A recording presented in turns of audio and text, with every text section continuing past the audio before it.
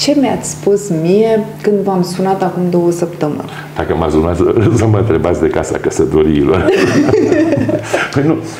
Eu nu v-am sunat să vă întreb de casa căsătoriilor. Da, mi-ați spus, sunat mi-ați să spus. vă întreb. Dar ce vă spun de toată lumea scria, e unul polițanul, un polițianul, nu știu cine, nu-l cunosc. Da? Polițian, da. Da, să înțelegi că nu știu ce afacere am eu cu statul. înțelegi? Așa, că eu n-am cifră de afaceri, cât spunea el. Până una alta, Casa Căsătoriilor, înțelegi, nu a fost a statului decât cât a fost naționalizare. Ea este o proprietate Privat. privată. Și a trecut dintr-o proprietate privată într-o altă proprietate privată. Corect. Da? Consiliul Județean, Ministerul Culturii și Primăria înțelegi, au primit și a trebuit să dea un răspuns dacă vor să o cumpere. Ei au avut drept de preemțiune. Drept de preemțiune. Cunoșteau prețul, cunoșteau tot, așa, au refuzat să o cumpere. Dar public, dumneavoastră vă spun astăzi, dacă vor să o cumpere, înțelegi, le-o vând eu. Le este vindeți. prețul din contract, le-o vând dacă vor, dacă consideră că e o problemă. Da, sunt sigur că va rămâne la fel. Cum necum, din ce am discutat cu domnul arhitect uh, șef, cu domnul Bondrea, înțelegi, a zis că cam un an durează proiectarea. Cam un an. Ce un an vreți să și faceți? Ce, ce planuri aveți cu în, ea? în principiu, uh, sediu la societățile mele.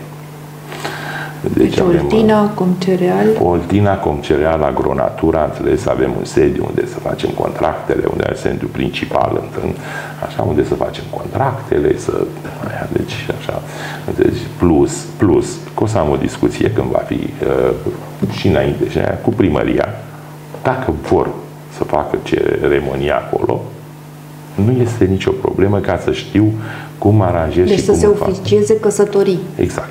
Dacă vor, nu e problemă o să am o discuție. Bineînțeles, contra cost. Da? Cine vrea. Da? Și pe mine o E o să mă coste proprietate fără nu. privată. Da. Așa, nu, nu spun că e gratis, înțelegi că și pe mine mă costă bani. Dar dacă eu acolo m-am căsătorit. Da? Înțelegi? Uh, Am văzut, uh, după ce am dat avansul la sfârșitul lunii iulie, am trimis o echipă de oameni și am curățat de mărăcini și de buruieni și de tot ce era acolo. Iarăși au scris unii că primăria nu știu ce l-a amendat pe proprietar. Eu nici măcar, nici astăzi nu sunt proprietar. Dar abia am primit acum uh, negațiile. Săptămâna viitoare cred că voi fi proprietar. Da? De. Și încă o dată, deci, sp- vă spun în fața noastră, vor, uite, ăsta e prețul, nu vreau bani în plus. Luați-o. Dar aranjați-o. Nu, e păcat de ea, este, Dar este credeți un că eu nu știu. monument. Da? Eu nu știu, eu frumusețe simbol. rară. Deci, deci eu am fost în toată de enori. Da? De trei ani de zile negociez cu proprietarul. De trei ani de zile negociez cu proprietarul. Deci nu de astăzi. Înțeles. Dar nu e nicio problemă dacă vrea să o ia. Da? Că nu știu ce va, un brutar, nu știu ce face. Un, e important, nu sunt la e curent cu important că e brutar, că e notar, că e nu știu ce, băi, să facă. Asta e important. Hai să o fac, să o facem. Așa, dacă eu am hotărât să o iau, înseamnă că cred că pot să o fac. Să-i dăm strălucirea aia care trebuie, care a fost odată. Care a fost. Da. Asta e că nu te lasă nimeni. Și la cât ați bugetat investiția? La cât? Deci nu pot. Aproximativ. Uh, Întotdeauna este undeva cu 25-50% mai mult decât uh, calculele inițiale. Asta se știe. Domnul Bondrea, deci arhitectul a zis Cosmin că te va costa de, după ce o cumperi, minim un milion de euro, dar nu poate să-mi spune exact uh, cât. Minim. Și un milion de euro pe lângă prețul de achiziție de Da. 900 de mii. Nu, 900 de mii, așa este, nu e problemă, înțelegi că nu e nimic de ascuns. A, era secret? Nu, nu, dar cred că a avut și prețul Consiliul Județean și Primăria. Înțelegi? Și Ministerul Culturii. Cred că nu eu am informat. Proprietarul trebuia să informeze. Așa. Deci au avut și prețul. Da. Dar poate, deci, încă o dată, deci ea e normal să fie a orașului. Dar să o ia și să o facă. Și să o facă, nu să o lase în paragină. Deci, nici, Deci se poate face și sediu, Puteți lăsa și un culoar și o cameră pentru ceremonii. Da, asta... În cât timp credeți că dacă, dacă N-am rămâne de unde, dumneavoastră, deci, dacă nu vindeți mai uh, departe. Tot domnul Bondrea mi-a zis că durează, că trebuie toate avizele de la uh, culte, minim un an.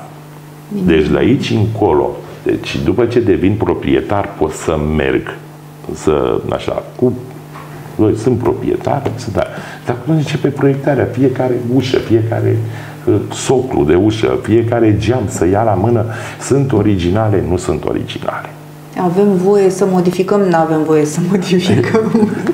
Nu știu, credeți-mă, de să-ți faci un proiect la casă durează câteva luni, nu? Da. Dar să iei casa aia și să o readuci la ce a fost, Dar ne vom bucura de ea la un suta de moment dat. procente. Suta de procente. Deci nu este nimic. Așa. Dar dacă este ceva rău, înțelegi că fac să fie niște birouri acolo, ale noastre. Da? Acum, așa, nu e numai clădirea aia, aia este simbol al Ploieștiului. Da. Întrebam un uh, prieten uh, al meu, înțelegi, în momentul când am dat avansul, care clădire e constructor? Nici nu mă ascund să spun cine e Neionel Dogaru de la Putien de la Montaj Carpați. Care e cea mai frumoasă clădire din Ploiești? După el, eu dădusem avansul și vreau să văd poziția lui. Ce casa căsătoriilor. Da? E, e frumoasă. Este. Este, da. Înțeleg? Sper să reușesc, înțeleg? Să o aducem la alea. Deci, cei care scriu, întâi, întâi ar trebui să intre în ea. Înțelegi? Să vadă că acolo dormeau oamenii străzii, că își făceau nevoile acolo. Totul este Și spart, totul este vandalizat, deci, nu atunci, pădiseră atunci, buruienile. atunci trebuiau să vorbească, nu acum.